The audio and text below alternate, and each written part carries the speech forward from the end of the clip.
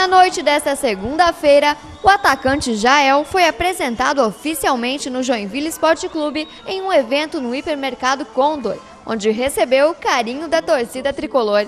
Não, com certeza, é... o clube agora é... fez um, um, grande investimento trazendo um Jael, o Jael, um atleta extremamente identificado é, com a torcida. É, hoje estamos apresentando o atleta aqui. É, o torcedor veio, compareceu, é um atleta extremamente carismático e principalmente um atleta com muita qualidade, é, com faro de gol e é isso que nós estamos precisando agora na sequência do campeonato da Série B. E a alegria dos torcedores foi evidente, mas assim como a alegria, também vem a cobrança.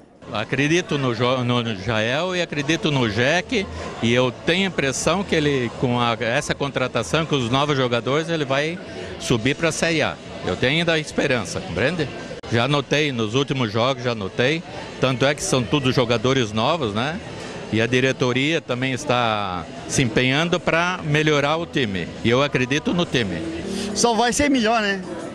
Com certeza. Agora o Jack só vai. A netalhada cresceram no campo direto. direto. É, neta, neto, não tem, cara. Jack ano desde 76. Nesta terça-feira, Jael finaliza os exames médicos para poder falar com a imprensa e ficar à disposição do técnico Lisca.